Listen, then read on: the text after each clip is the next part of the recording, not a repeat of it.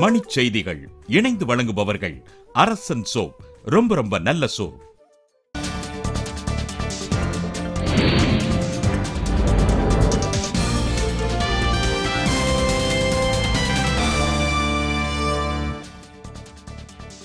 முழு அடைப்பு போராட்டத்தை மாபெரும் வெற்றி பெற செய்த அனைவருக்கும் அன்புமணி ராமதாஸ் நன்றி. தமிழகம் முழுவதும் பாமகவினர் நடத்திய போராட்டத்தில் ஒரு லட்சத்திற்கும் மேற்பட்டோர் பங்கேற்பு நாற்பதாயிரம் பேர் கைது. காவிரி விவகாரத்தில் தமிழகத்தை ஆண்ட கட்சிகள் தொடர்ந்து துரோகம் செய்து வருவதாக மருத்துவர் ராமதாஸ் புகார். காவிரி மேலாண்மை வாரியம் அமைக்க வலியுறுத்தி திருச்சி மாவட்டம் முசிறியில் பாமகவினர் ஆர்ப்பாட்டம்.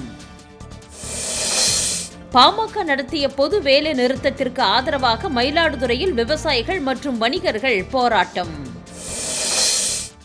வேலூர் மாவட்டத்தின் பல்வேறு இடங்களில் சாலை மறியலில் ஈடுபட்ட பாமகவினர் கைது. திருவாரூர் மாவட்டத்தின் இருவேறு இடங்களில் அஞ்சல் அலுவலகத்தை முற்றுகையிட்ட பாமகவினர் கைது. போராட்டத்தின் எதிரொலியாக சென்னையில் நடைபெறவிருந்த ஐபிஎல் போட்டிகள் வேறு மாநிலத்திற்கு மாற்றம்.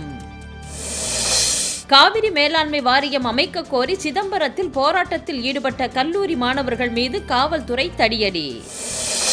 துணைவேந்தராக சூரப்பா நியமிக்கப்பட்டதை கண்டித்து சென்னை பனகல் மாளிகை முன்பு போராட்டம் நடத்திய கல்லூரி மாணவர்கள் கைது.